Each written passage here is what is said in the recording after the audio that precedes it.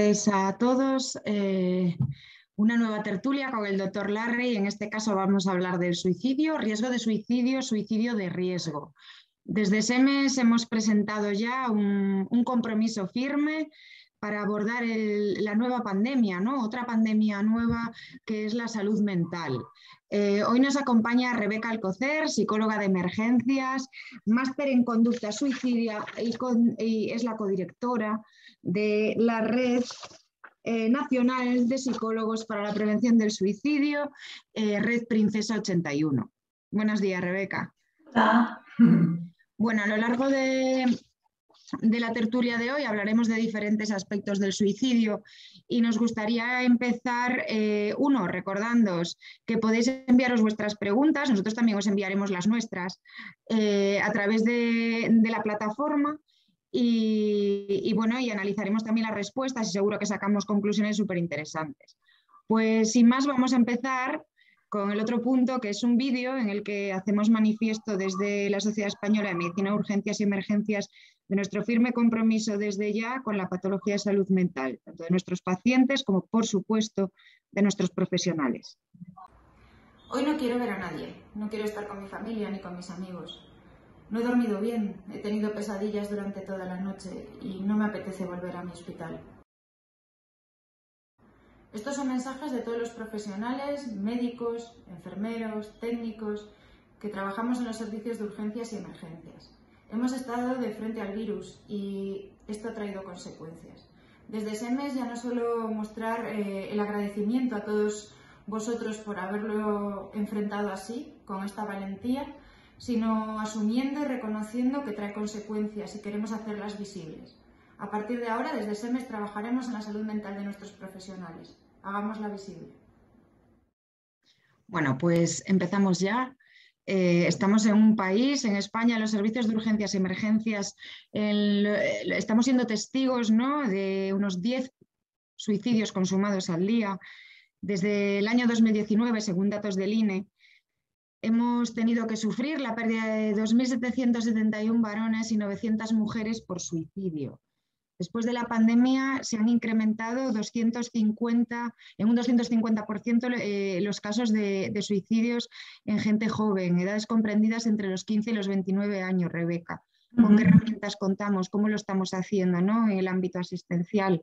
Hablábamos antes de, las llamadas telefónicas, ¿no? que son una de las vías más eh, recurridas ¿no? por, por, las víctimas. ¿no? Eso es. Cuéntanos.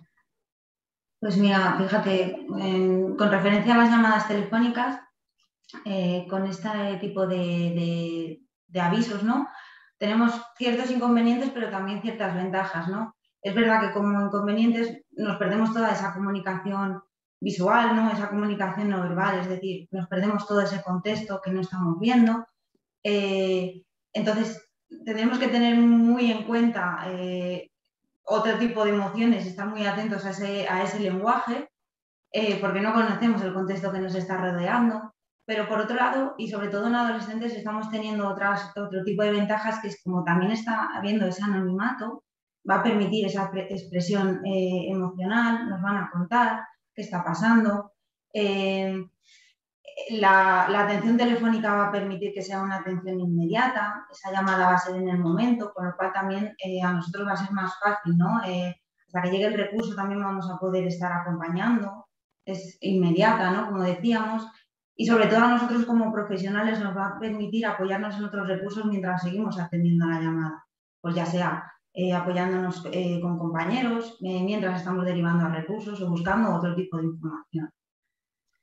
Exacto, o sea, nosotros, bueno, en el ámbito hospitalario, ¿no? También, o sea, no tenemos acceso a, esa, a, ese gran recurso, como es la llamada telefónica en este caso, pero sí, desde luego, entran pues diversos denominadores comunes, ¿no? El lenguaje es fundamental, la percepción de emociones, ¿no? Hablamos de esas tres emociones básicas, ¿no? Cuéntanos un poquito más. Miedo.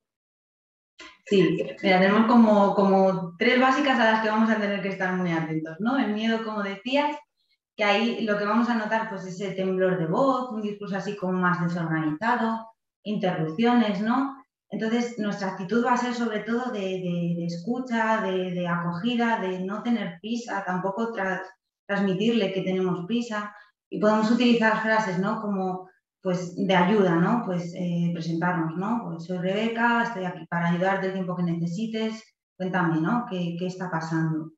Luego tenemos otro tipo de emociones, como pueden ser la tristeza, que ahí también tenemos pues un tono bajito, ¿no? Eh, esos suspiros, ese carraspeo, y ahí también tenemos que tener más esa actitud de compasión, ¿no? Pues no me puedo ni imaginar lo que puedes estar pasando ahora mismo, ¿no?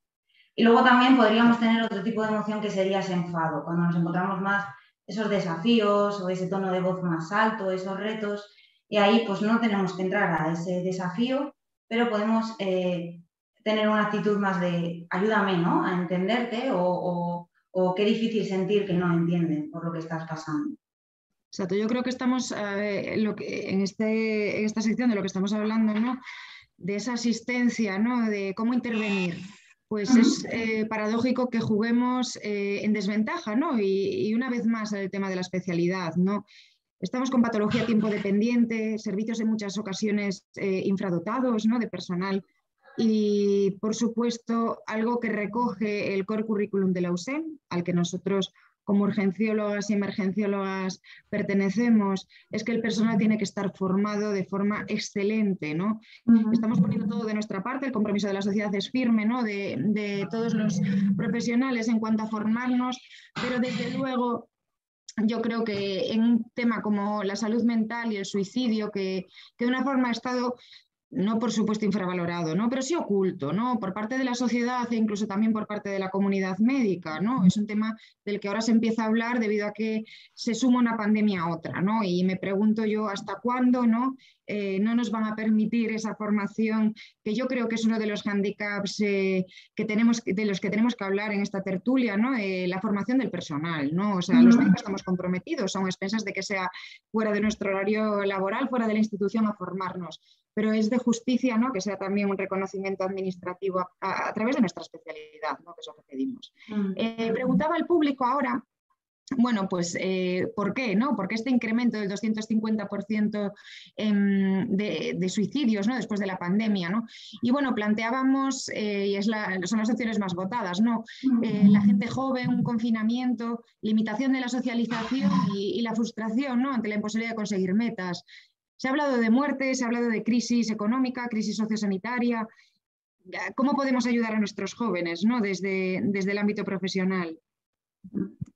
Pues eh, sí, ¿no? Lo de las respuestas, al final es verdad que el suicidio siempre es multicausal, pero es verdad que, que, afecta pues todo el tipo de, cómo ha afectado la pandemia a la hora de cómo ellos han podido, les ha afectado la parte social, la, la gestión emocional, cómo también se ha visto eh, repercutida, y, a la hora también eh, para los adolescentes el cómo se podría actuar en esa gestión emocional, en esa educación emocional, cómo resuelven los conflictos, cómo ahora gestionan pues, emociones como la frustración, la soledad, la ruptura, los fracasos académicos, las relaciones familiares, la influencia que también está teniendo eh, las redes sociales, ¿no?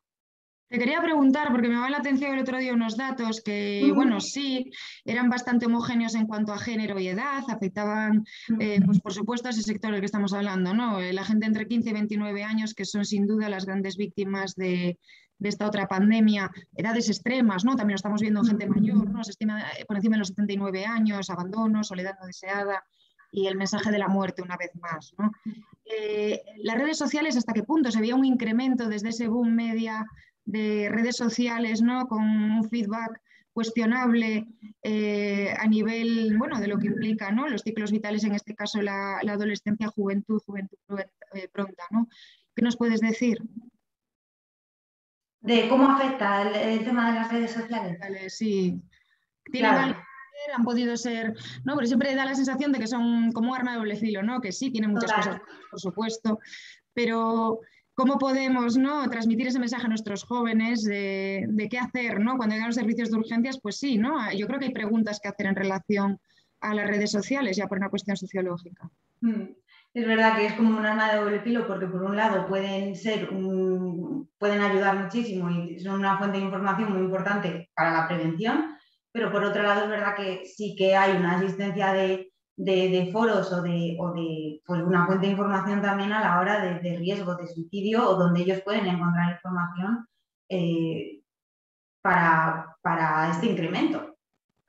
Claro, ¿no? Y yo ahora saco el tema de siempre que, bueno, ya hay estudios que evidencian que el comunicar a la sociedad, ¿no? A nuestros jóvenes, a nuestros abuelos también, hay formas de comunicar, hay canales distintos de llegar, pero lo que sí está claro que hablar de suicidio, alertar del suicidio, eh, no causa más suicidios, ¿no? Ese efecto Amelín del que se hablaba no es así, ¿no? O sea, se demostró violencia de género y ahora una vez más en el suicidio.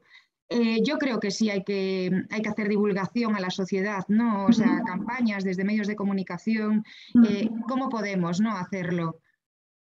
Eso es, con una, buena, con una buena educación en el uso correcto y bueno de, las redes sociales, que en sí no tienen por qué ser malas, pero con una buena, con un buen uso.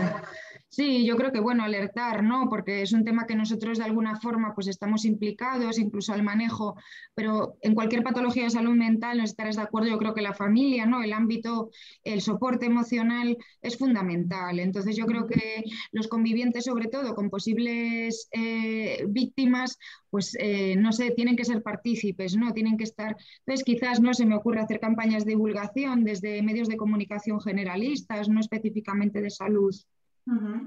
Medios de comunicación y sobre todo mm, los, bueno, el ámbito educativo, es donde también familia, medios de comunicación, pero el, adolescente, el colegio, el ámbito educativo es donde más, en porcentaje muy alto es donde más tiempo pasa. Yo, vamos, estoy completamente de acuerdo. Creo que tenemos que entrar en eso, ¿no? En educación, en, formación. Y lanzábamos la pregunta, ¿no? De qué podemos hacer en esta crisis y coincidimos todos. La formación a los profesionales es fundamental.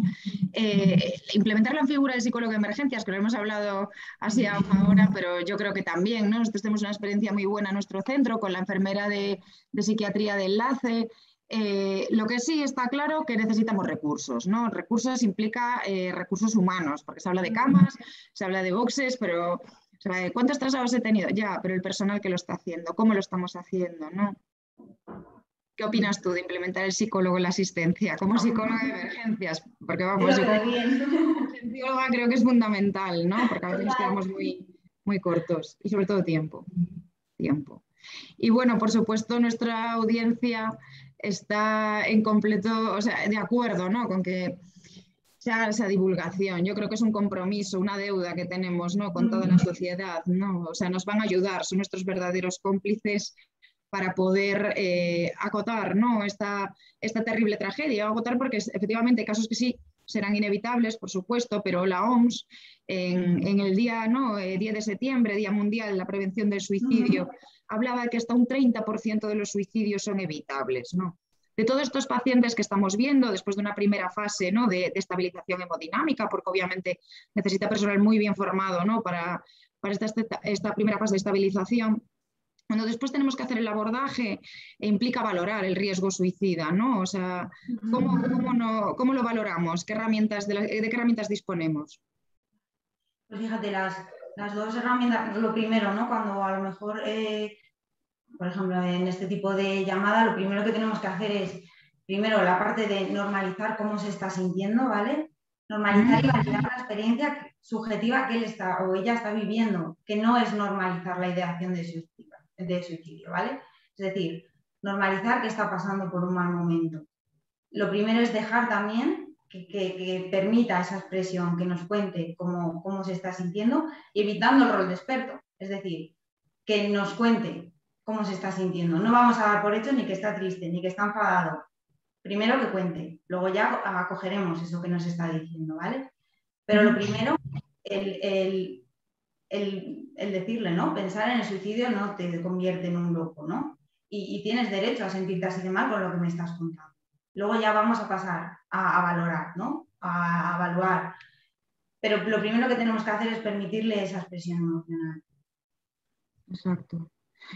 Hombre, eh, bueno, comenta ¿no? las preguntas que nos llegan desde el público. Una, bueno, nos da la enhorabuena por la, por la tertulia que se ha planteado, que, bueno, que estamos hablando de emociones y se habla de formación de, personal.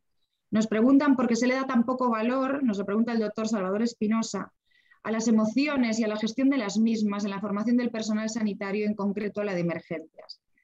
¿Qué nos tienes que decir, Rebeca? ¿De las nuestras propias o...? Sí, no, no, en general, ¿no? ¿Por qué, no, ¿por qué la formación no abarca ¿no? el tema de la gestión de emociones? Hemos visto que es un punto débil ¿no? dentro de, la, de la, de, la, formación sanitaria, ¿no? O sea, por si los profesionales en urgencias y emergencias tenemos que, buscarnos un poco esa formación, porque hay eh, como un reparo, ¿no? Se percibe a la formación en emociones, en gestión de emociones, ¿no? Sí, bueno, eso yo creo que afortunadamente empieza a cambiar, ¿no? Y también se está dando valor a, a Jolín, ¿no? Que, bueno, que aparte de profesionales, primero somos personas, somos humanos y que también nos tienen que, nos afectan ciertos avisos y que, bueno, y las situaciones personales que luego cada uno tiene, aparte de su trabajo, y, y tener ese autocuidado, ¿no? Como profesional. Exacto, ¿no? Y a veces también cuidar al que cuida, porque si a nosotros nos enseña, nos da las herramientas para poder gestionar esas emociones, pues de alguna forma también nos ayudará a nosotros con el paciente y a nosotros mismos, ¿no? Y ahí podemos abrir el tema que, bueno, que de alguna forma es prioritario, ¿no? Dentro de, de nuestra sociedad científica, que es el cuidado de nuestros profesionales en urgencias y emergencias. Estamos en un momento en el que si ya antes de la pandemia el 38% de los médicos ¿no? se planteaban el abandonar la, eh, profesión, ¿no? O sea, había ya un burnout explícito que está pasando después, ¿no? O sea, eh, tenía datos hoy de que ya no es que haya un 38%, 40% de, de, profesionales con problemas de ansiedad, sino que hay un 14,5% mm. que tienen problemas eh, limitantes, ¿no? para el desarrollo de su actividad profesional. Y lo que es todavía más alarmante, que el 64% niega la necesidad de ayuda, se la niega a sí misma. ¿no? Estamos automedicándonos, estamos haciendo eh, bueno, juicios muy duros ¿no? con nosotros mismos después de lo que ha pasado. Necesitamos un poco de ayuda, ¿no? ¿Cómo crees que podemos eh, invitar a los profesionales a, cuidarse, ¿no? A reconocer ese, ese, problema. ¿Cómo crees que es la situación en el momento actual?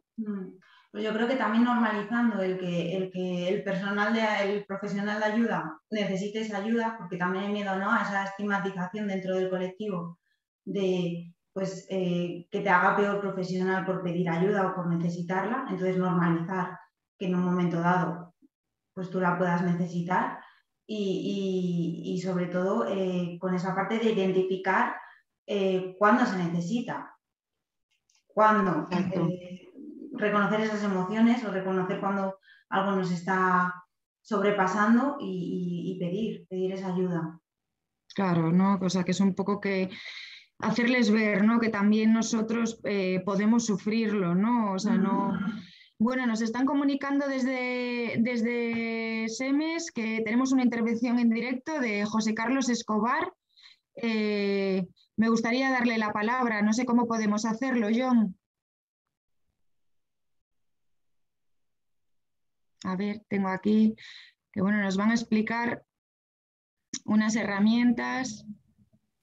A ver, yo he dado autorización desde aquí. Hola. José, José Castro.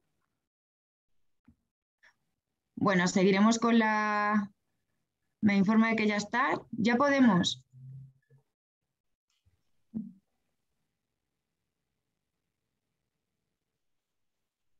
Bueno, desde luego estamos a la espera, ¿vale? De la intervención que me comunican que si es necesario, o sea, que intervendrá.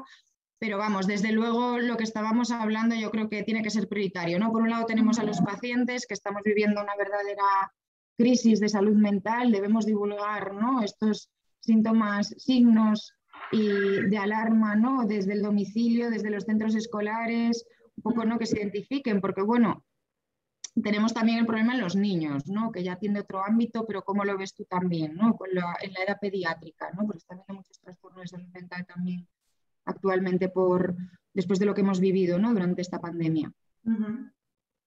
Sí, es verdad que, bueno, sobre todo también, ¿no? Tema autolesiones, pero bueno, al final pues eh, puede ser, no, tiene por qué ser autolesiones, eh, tiene que implicar conducta suicida, pero bueno, ya estamos viendo que la gestión emocional pues... Importa. Hola. Ah, perdón, tenemos ya la intervención. Hola, José Castro. Hola, sí, eh, buenos días. Eh, sí, eh, soy psicólogo. soy el presidente de la Sociedad Peruana de Psicología de Emergencias y, perdón, de suicidología en España. Y también soy eh, psicólogo emergencista. Eh, realmente la formación en, emergencias y, y, desastre, lo colindante es eh, suicidio y además que en Barcelona se está utilizando una herramienta que es importante para los jóvenes entre iguales, que es este Kiva.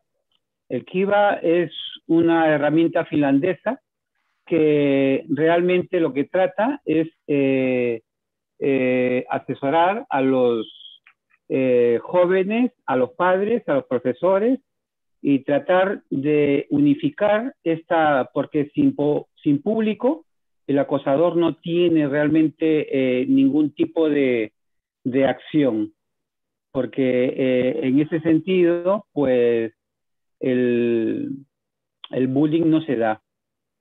El bullying es una acción intencionada que se da eh, hacia una persona quizás vulnerable y que además eh, esto lo puede llevar al suicidio.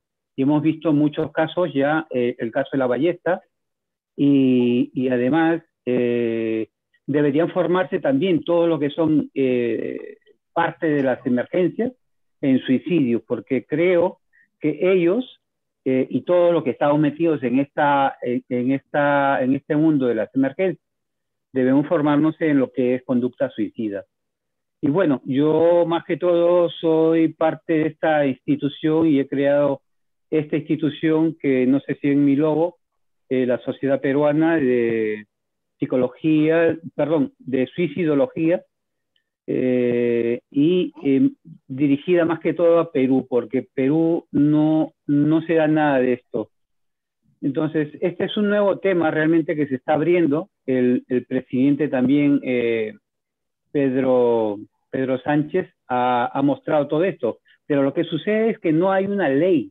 Debería darse una ley para que los presupuestos y los recursos sean eh, realmente eh, aprobados por los ministerios que correspondan, salud, educación o, quien correspondan, ¿no?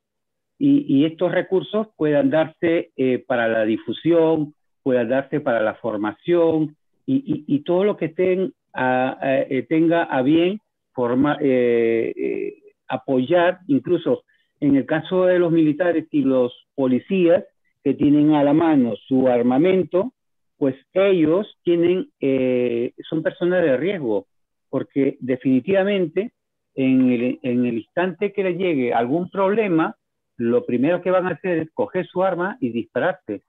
Son, es información que en todos los países del mundo que se dan este tipo de, de problemas, eh, esta no sale, no se visualiza.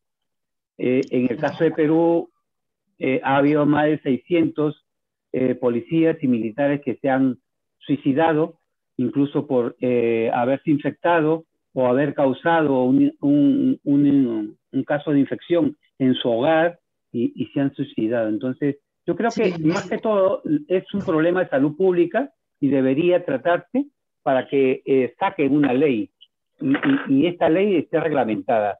Los únicos países en Latinoamérica es reglamentada son Argentina, que tiene su ley, y Paraguay, y también está reglamentada. Entonces, eh, eh, esto no se da, solamente estamos, se está haciendo apoyo de diferentes lugares, desde SEMEN, desde el SAMU. perdona, nos gustaría preguntarte un poco por No se da, sí. José, eh, no sé cómo es, porque nosotros de alguna forma nos parece ya antes que la ley, por supuesto, ¿no? Todo el apoyo administrativo lo vamos a necesitar. coincides con nosotras, ¿no? En esa necesidad de, la sí. a la población, ¿verdad? Sí, la difusión es importantísima, porque la difusión va a llamar al padre de familia a observar a sus hijos y va a ver que sus reacciones ya no son las mismas y va a ver realmente que su comportamiento no es el mismo y va a notar que sus calificaciones están debajo del nivel que estaba anteriormente. O sea, va a haber muchísimos cambios, la alimentación, va a haber cambios en el sueño, va a haber cambios en la irritabilidad, en fin, muchos cambios hay en el joven, ¿no? Muchísimas va a escuchar voces, va a escuchar voces, va a tener miedo de salir a la calle, en fin, eh, es todo un cambio total. No va a querer ir al colegio. Eh, eh, hay diferentes maneras de suicidarse. y, o perdón, de diferentes maneras de llegar al suicidio.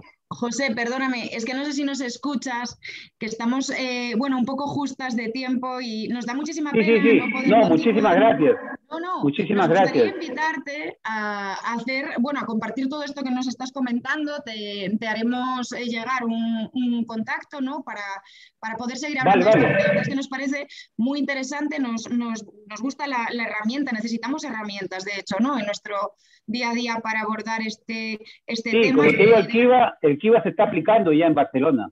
Eso es, por eso nos gustaría que nos lo contases un poquito más. Te vamos a hacer llegar el, el email, ¿vale? Vale, para seguir vale. hablando contigo, porque nos da mucha pena, porque al final eh, el tiempo también nos, nos Sí, sí, lo entiendo cosas, perfectamente. ¿vale? Y Pues como le digo, estoy aquí, eh, soy suicidólogo y tanatólogo y psicólogo. Muy bien. Pues muchísimas gracias. por tu intervención, José. Gracias. Gracias, hasta luego. Hasta luego. Creo que teníamos otra intervención, ¿verdad? Bueno, nos la, nos la harán llegar. Qué interesante, ¿no? Lo que nos comentaba José, porque la verdad es que, es que sí, ¿no? O sea, necesitamos herramientas, necesitamos divulgar, eh, por dónde empezar, ¿no? Parece eh, difícil, ¿no? Pero desde luego, vamos, si algo estamos acostumbrados en urgencias y emergencias es a, afrontar retos, desde luego, una vez más, eh, queremos estar a la altura, ¿no? A la altura de nuestros pacientes y trabajar en la excelencia. Yo creo que, bueno, de hoy, ¿no, Rebeca? Podemos concluir, aunque haya sido un ratito, el, firme compromiso ¿no? de, la Sociedad Española de Medicina Urgencias y Emergencias, ya no solo con nuestros pacientes, sino con nuestros profesionales. Desde el grupo de trabajo, un grupo multidisciplinar, vamos a intentar abordar, bueno, pues desde esa necesidad de divulgar, ¿no? de, llegar a incluso esa alerta, ¿no? de efectivamente, esto es una alarma, ha saltado. Eh, ¿Por qué no? se están suicidando jóvenes de, un 15, de 15 a 29 años? ¿Qué está pasando? ¿Por qué la asistencia al suicidio sigue siendo siempre un tema tabú? Yo creo que por ahí teníamos que empezar. ¿no? La formación, que yo creo que tiene que ser homogénea en cualquier patología tiempo dependiente, pero en este caso eh, todavía más el compromiso y abrir ¿no? lo que nos planteaba el doctor Salvador Espinosa, la gestión emocional. O sea, yo creo que tiene que ser una asignatura eh, propia de curricular ¿no? de, de, nuestros estudiantes de medicina, de enfermería, de psicología, por supuesto, aplicada a la urgencia y emergencia. Yo, una vez más, eh, agradeceros a, a, todos vuestra participación, a ti, Rebeca, por todo lo que, las pinceladas que nos has, dando, eh, nos has dado. Siento que el tiempo no haya sido más.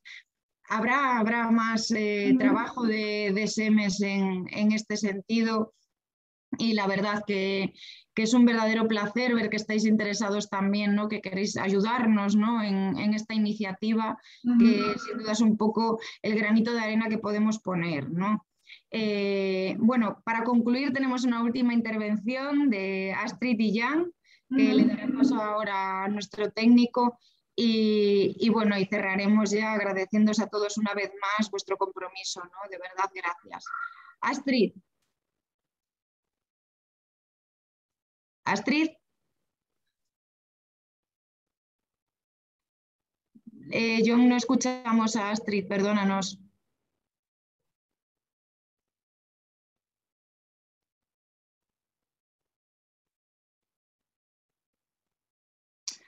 Bueno, pues no podremos eh, dar paso si no.